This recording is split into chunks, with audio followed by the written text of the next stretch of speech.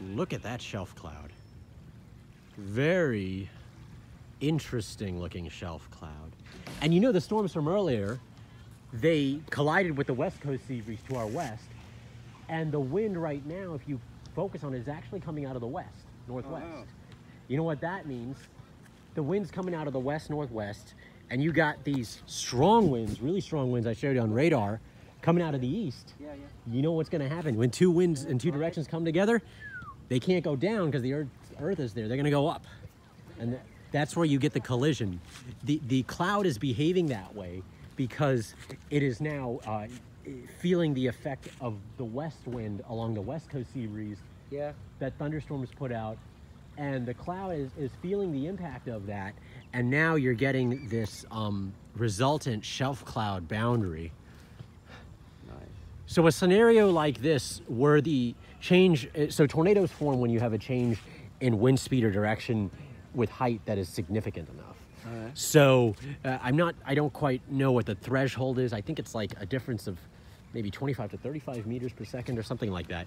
But but um we don't get big tornadoes here because the change of wind direction with height is rarely that strong here.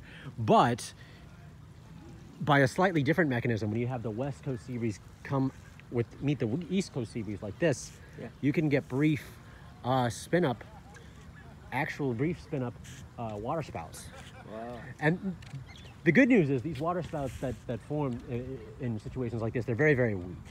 So if you ran if you ran into it with a boat, it would be terrifying. But they're nothing. Com- They're not very.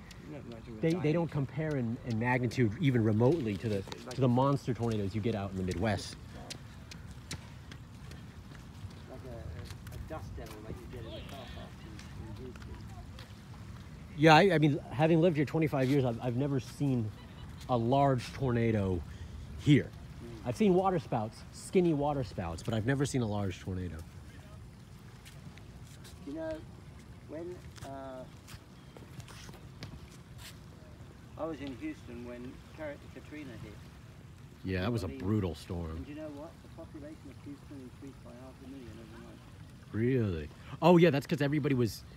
They're all heading west. They couldn't go east towards Florida Yeah, because I-10, it was. and they couldn't go north because you know, north of New Orleans, New Orleans, there's the Pontchartrain Causeway. Yeah, that.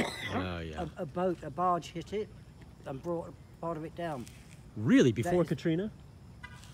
Or after Katrina? During. During Katrina. Okay, that makes sense. Here's the thing: nobody could travel up there then. Ooh. That's the 27 mile long